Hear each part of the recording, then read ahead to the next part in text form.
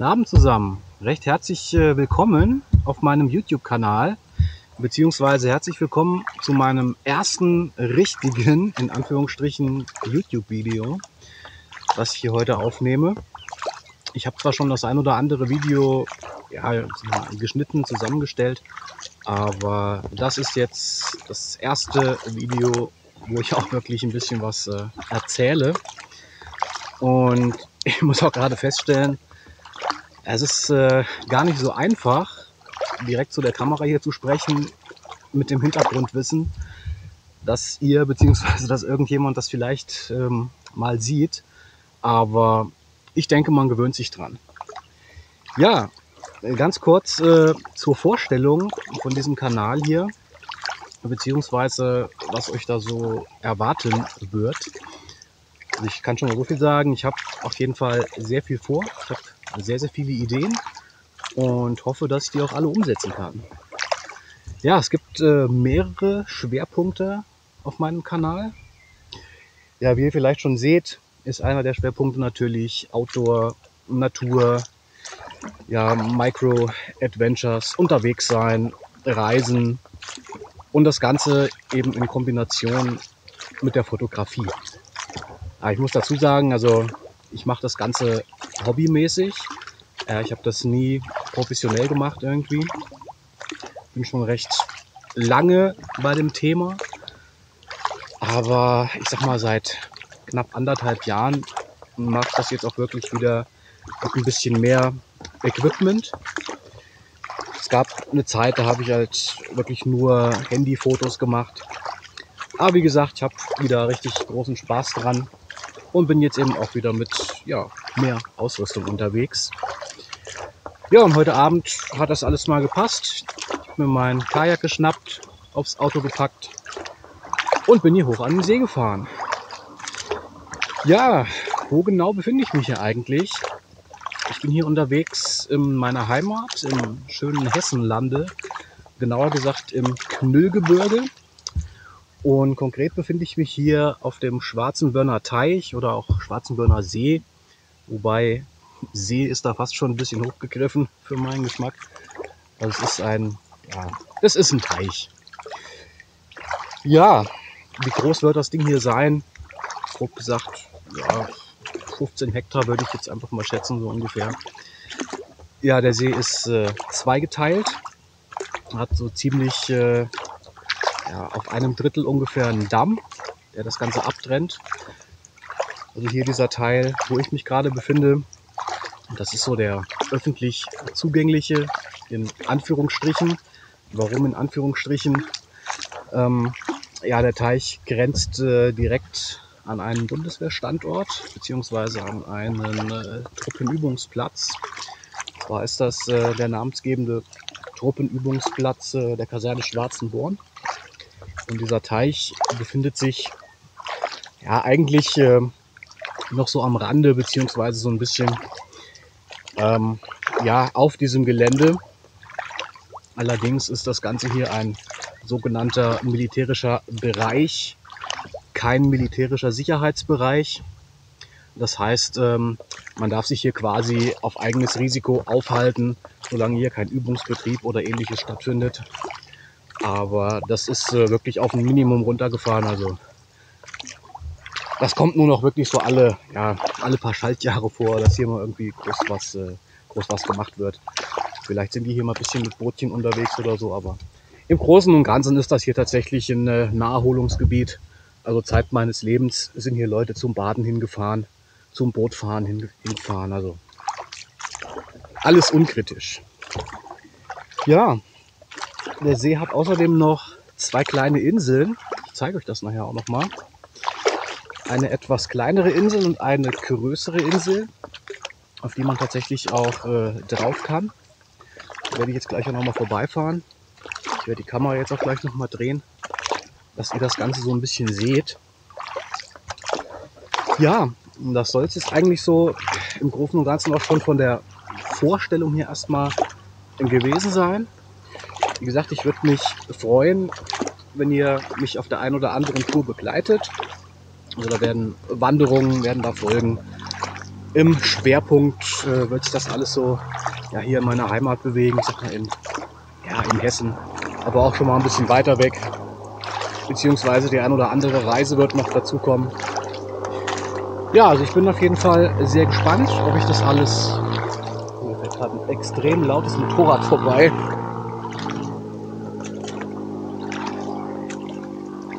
So, ich hoffe, man hört mich wieder. Ja, ich bin auf jeden Fall sehr, sehr gespannt, ob ich es schaffe, das tatsächlich alles umzusetzen, was ich mir vorgenommen habe. Aber ich bin auf jeden Fall guter Dinge. Ja, was gibt es noch zu sagen? Ach so, genau, noch ein bisschen äh, Werbung in eigener Sache.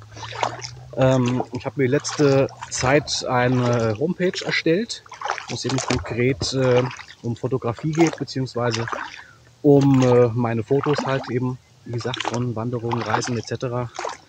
Wenn ihr Bock habt, schaut einfach mal rein. Den Link gibt es natürlich hier unten in der Videobeschreibung. Ja, würde mich freuen, wenn ihr mal schaut. Das sind tatsächlich äh, Fotos von, ja, von allem Möglichen drin. Okay, dann sage ich jetzt erstmal bis später. Und ich nehme euch gleich noch auf eine kleine Inselrundfahrt mit.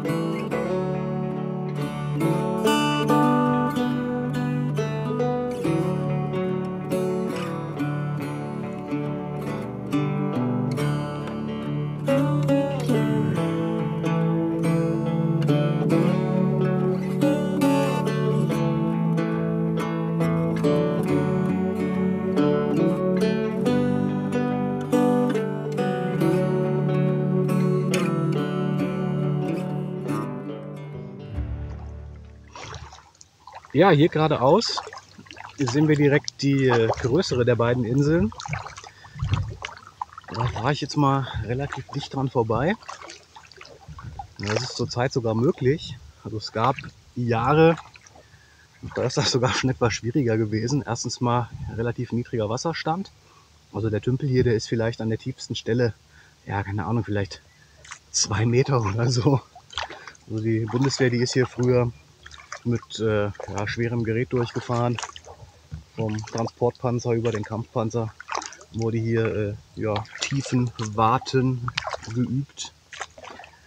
Aber der andere Grund, warum man hier ein bisschen vorsichtig sein muss, diese Insel ist äh, des Öfteren von Vögeln besetzt. Dieses Jahr ist es gar nicht so schlimm.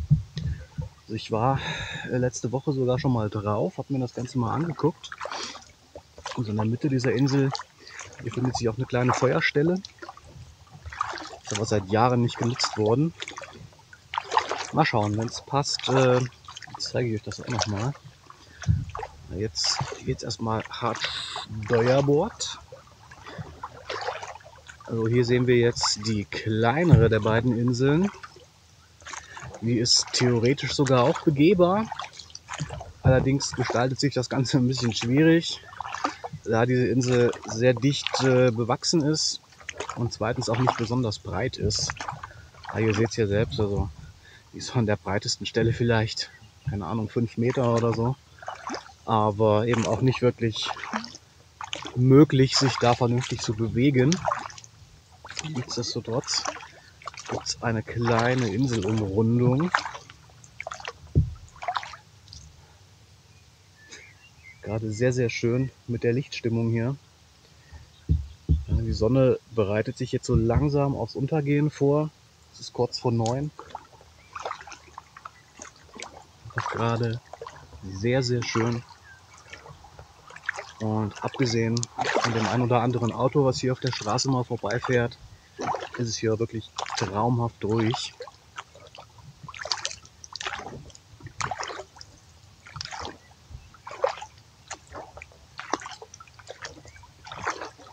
Also hier vorne auf der Steuerbordseite seht ihr so ein paar kleine Felsen bzw. Steine. Ja gut, Felsen war vielleicht ein bisschen übertrieben, Steine aus dem Wasser gucken. Hier muss man ein bisschen aufpassen, weil hier wird es jetzt gleich sehr, sehr niedrig. Aber alles noch im grünen Bereich. Ja, hier haben wir jetzt vielleicht noch 20 cm Wassertiefe oder so. Aber alles gut gegangen. So, dann steuern wir jetzt noch einmal auf die etwas größere Insel zu, dass ihr die noch mal in Gänze sehen könnt.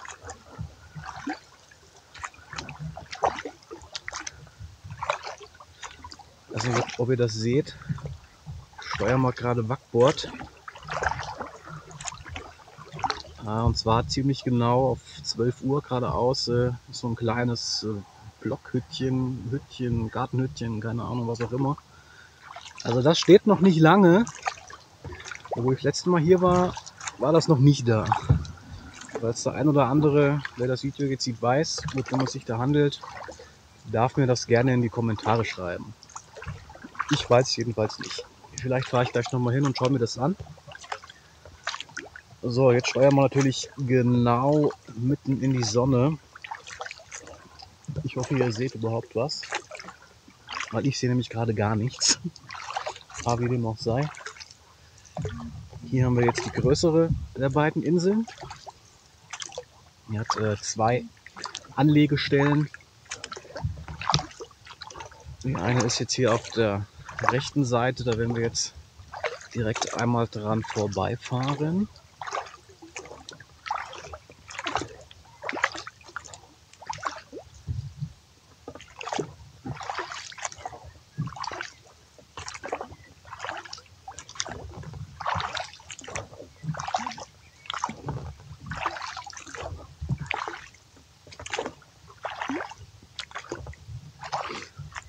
Ja, hier wo linksseits diese Steine sind und da wo die Büsche anfangen, da kann man tatsächlich anlanden.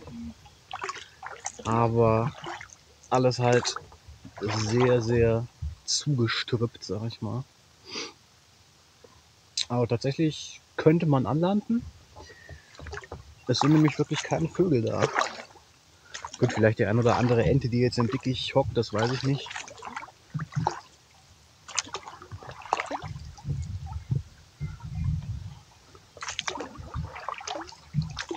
Oder vorne an dieser Rampe, an dieser Kiesrampe, sich ein Zuschauer eingefunden. Ich bin also nicht mehr alleine.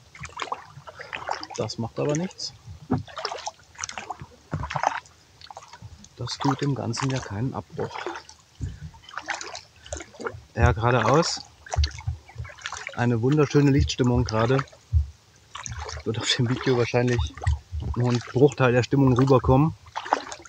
Aber hier werden gerade die Bäume am Ufer von den letzten Sonnenstrahlen richtig schön angeleuchtet. Sehr, sehr, sehr schön.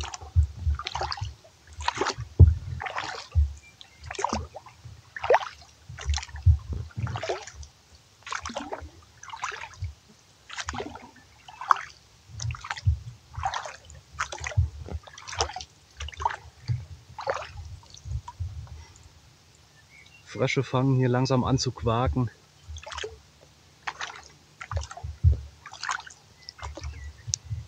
Und jetzt noch die Straße weg wäre da oben. Absolute Ruhe. Nur die Geräusche der Natur.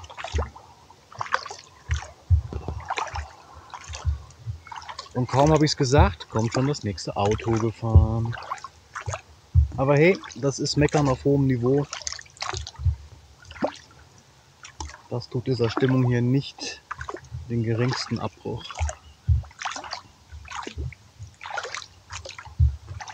Ja, jetzt scheint die Sonne auch noch mal richtig schön. Herrlich. Herrlich. Ach, da hinten ist ja die Entenfamilie. Die hatte ich jetzt die Tage schon mal am Ufer gesehen. Ich halte mal ein wenig drauf zu und man kann das sehen mit der weitwinkligen Kamera.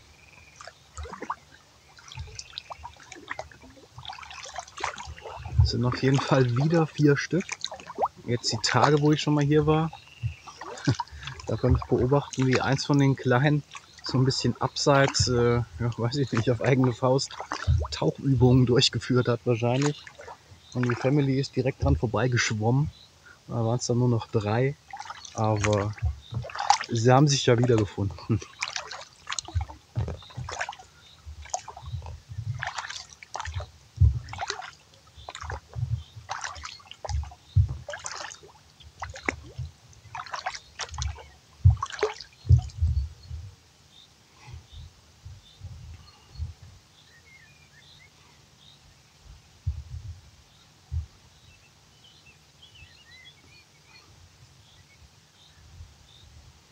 Vielleicht sind es auch gar keine Enten. Korrigiert mich da, falls ich irgendwas Falsches erzähle. Mal ein bisschen abbremsen, nicht, dass ich zu nahe dran komme. Sind auf jeden Fall keine rudimentären Enten, so wie ich das von hier aus sehen kann.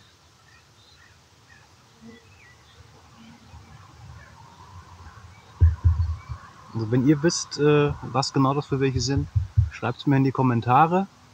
Würde mich auf jeden Fall sehr interessieren. Ihr, die Kleinen, die haben schon, äh, schon ein bisschen Mühe, da mitzukommen.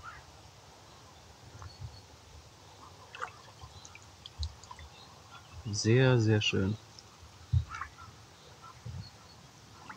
Ja, ihr braucht nicht schimpfen, ich komme nicht näher, keine Angst, alles gut. Alles gut.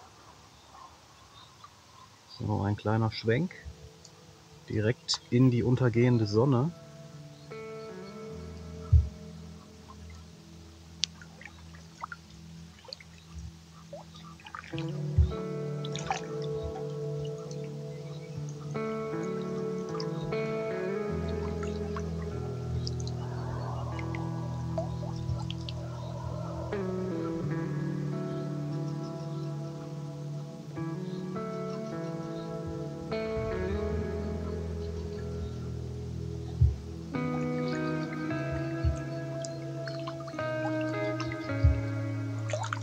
Was für eine schöne Abendstimmung hier.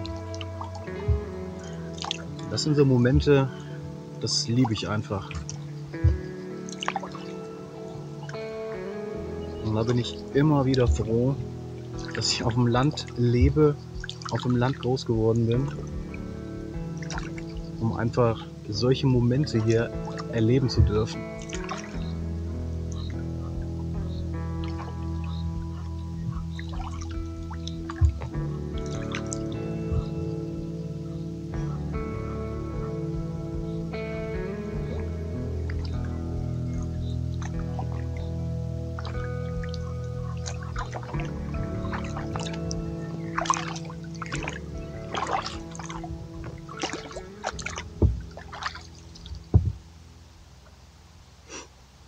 Da bin ich nochmal.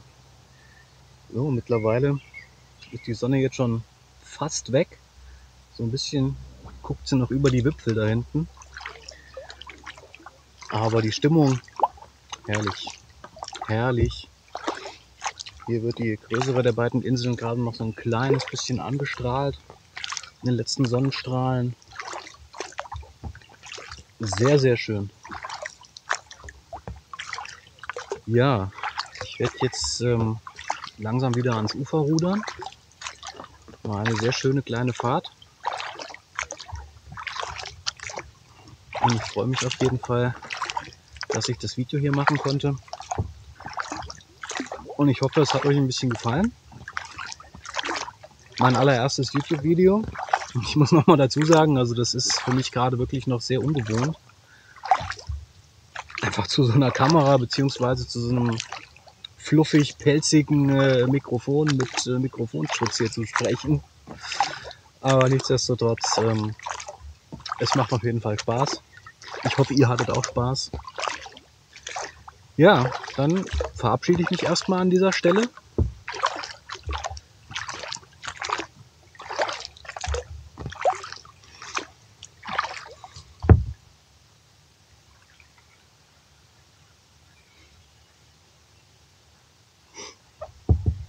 und wünsche euch alles erdenklich Gute. Bis zum nächsten Video.